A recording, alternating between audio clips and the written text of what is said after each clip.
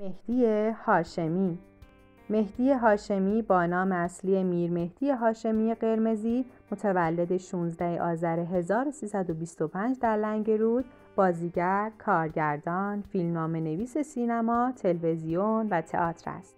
در سال 1352 در رشته هنرهای نمایشی از دانشکده هنرهای زیبایی دانشگاه تهران فارغ و تحصیل شد.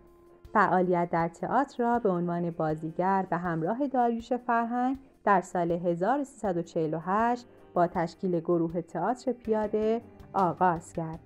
نخستین بازی سینمایش را در فیلم زندهباد ساخته خسرو سینایی تجربه کرد اما بازیش در مجموعه تلویزیونی سلطان و شبان بود که او را به شهرت رساند.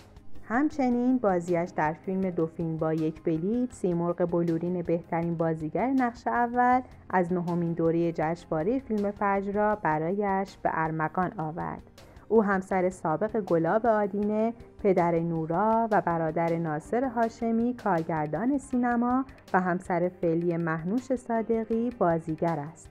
تعدادی از آثارش انفرادی، رژیم طلایی، زرد قناری، کامیون، دردسرهای عظیم، اشکها و لبخندها و روزگار قریب نام دارند. تازه آیندگان هم که این موضوع را بخوانند به هوش و ذکاوت ما پی خواهند برد خواهند گفت با اینکه این سلطانشان در زمان قدیم میزیسته عجب نبوغی داشته